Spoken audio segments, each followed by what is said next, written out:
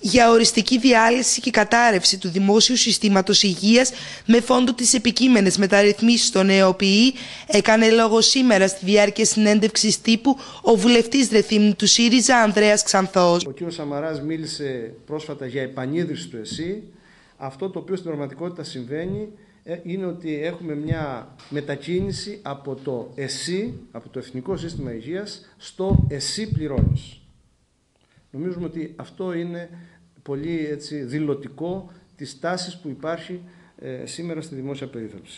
Ο ΣΥΡΙΖΑ Ρεθύμνου δεν θα ψηφίσει το νομοσχέδιο που όπως τονίζουν τα μέλη του στοχεύει στη νέα οικονομική επιβάρηση των ασθενών.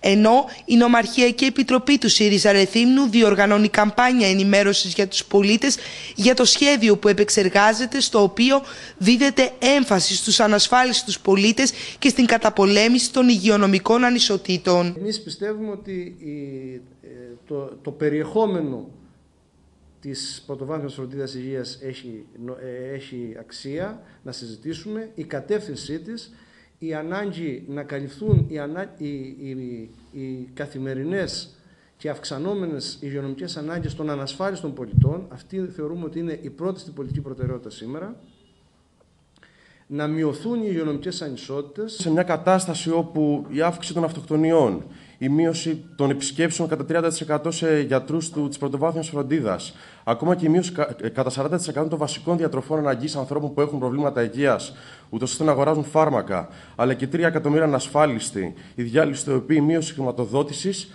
συνιστούν μια υγειονομική βόμβα και συνθέτουν μια δραματική κατάσταση, μια δραματική πραγματικότητα της ανθρωπιστικής κρίσης. Η Νομαρχιακή Επιτροπή του ΣΥΡΙΖΑ Ρεθύμνου θα κάνει εκδηλώσεις στο νομό, ενώ σχετικές συναντήσεις έχουν προγραμματιστεί για την επόμενη εβδομάδα στο Κέντρο Υγείας Περάματος και Ανογείων. Θα επιδιώξουμε αυτές τις μέρες που θα συζητείτε στη Βουλή να υπάρξει η μέγιστη δυνατή συστράτευση και κινητοποίηση και των γιατρών και των εργαζομένων στον ΕΟΠΗ και των γιατρών και των εργαζομένων στα δημόσια νοσοκομεία και των ε, συνδικάτων, των ε, άλλων κοινωνικών φορέων, των φορέων των ίδιων των ασθενών και των ατόμων με αναπηρία. Θεωρούμε δηλαδή ότι χρειάζεται να υπάρξει ένα μέτωπο κοινωνικό και πολιτικό με αιχμή τη δημόσια περίθαλψη αυτή την περίοδο που να ε, αποσταθεροποιήσει την ούτως ή άλλως ε, ευάλωτη σημερινή κυβερνητική πλειοψηφία και να δρομολογήσει